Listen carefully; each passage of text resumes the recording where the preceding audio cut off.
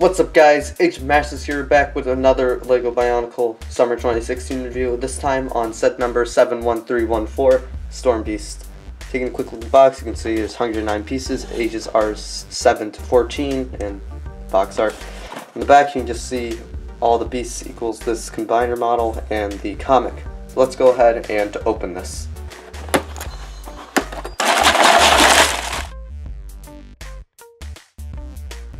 Alright, so here is Storm Beast all built up, and the first thing I want to take a look at right away is his function. So, taking a look at this function, you can see there's a lot of stuff going on here. And basically the way this works is if you move his tail like this, one arm will move up as you can see like that. If you move it down, his hands will move up like this. And it's just, it's an all around pretty good function. There's a lot of interesting stuff here, and it pretty much gets all the all the good stuff done. My only problems with it is that it does kind of lack in friction a little bit because of the use of these two pieces, so it can be a little bit annoying when trying to pose him. Another thing I'm not a huge fan of, which isn't really the function's fault, but it's because of the way um the way his arms are attached here on this ball joint is kind of annoying because it forces his arms to kind of always be angled a little bit and I don't really like that. I wish it was just on a different ball joint, but that is just one thing. So taking a look at his legs, you can see it's nothing too crazy. You do have this new uh, Metro Blue uh, four size recolor, which is nice. And you can see they did do a little bit of custom legs, nothing too crazy. I do like it, it's pretty nice, but it is, you know, nothing too crazy, but it is something nice to see there. Taking a look at Storm Beast's arms, you can see that new uh, trans light blue crystal piece, not really sure what it is. And, you know, that's there. But he has these kind of claws for weapons. And the claws, they're, they're kind of weird because the way they're attached, they use this foot piece.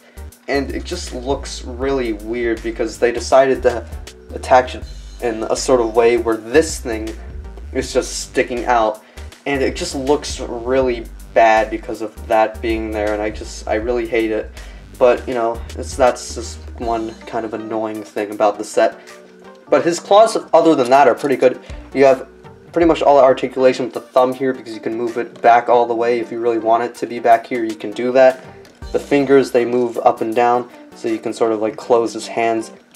So, like something like this, you know, if you really wanted to. You know, you got you got a lot of sort of articulation in the fingers. It is pretty nice, and just a nice thing about the claws taking a look at Storm Beast's head, you can see it's the exact same uh, head used for all of the other beasts, only this one goes from a Metro Blue to a Trans Yellow. And just like all the beasts, uh, all the other beasts, my only real complaint about this is that you can see this sort of the headpiece there because the mask is just kind of too small, which is kind of annoying, although it's not as bad on Storm Beast as it is on, say, Lava Beast because, you know, he does have the trans yellow, so it does fit in a little bit better here. Also, another thing to note about the mask is you do have pretty much all of your points of articulation. You can look relatively far down, although you are a little bit limited because you don't want to look too far down, otherwise you will pop the mask off using the jaw.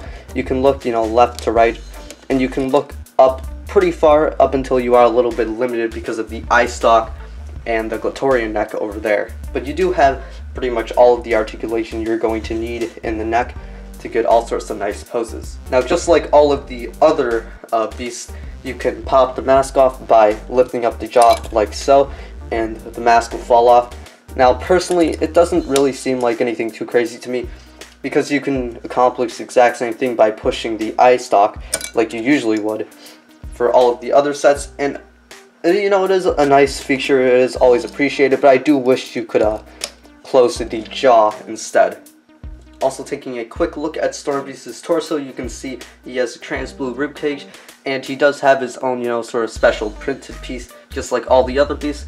I actually do particularly like this one, and it does fit in pretty well with the sets, unlike uh, Quake Beast where it was pink. This one does fit in very well with Storm Beast, and it does look pretty cool. Just like the rest of the Beast, uh, Storm Beast comes with a corrupted Toa mask. This one is the Mask of Ice or Kopaka's mask. As you can see, it goes from a white to a trans yellow. Personally, I think it looks absolutely terrible. I really just don't like this mask at all. But it is technically kind of a good thing because, you know, it is a corrupted mask, so it isn't really meant to look good.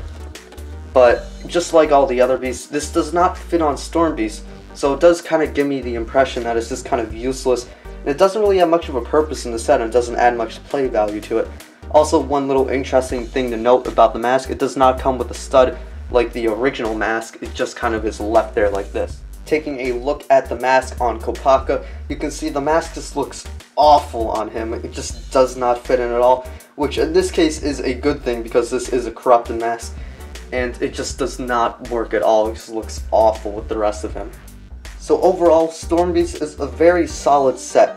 He does have probably the most interesting function we've seen in all of Bionicle Gen 2 so far, being just some completely new and innovative thing, and I think it actually works out pretty well. My really only issues with it is that it is a little bit annoying friction-wise, and it can make it a little bit hard to pose.